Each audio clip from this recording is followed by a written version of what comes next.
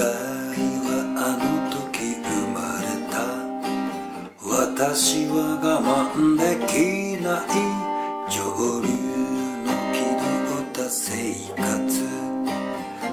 退屈すぎる毎日もう嫌絹の靴下は私をダメにする。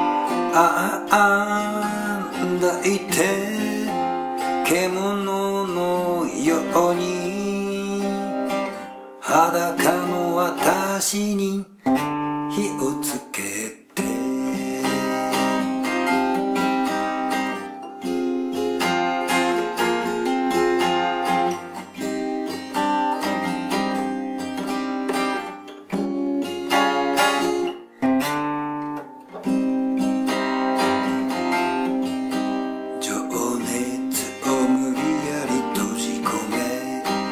私は我慢できない砂の上寝転ぶ女が何よりに合う私よもう嫌。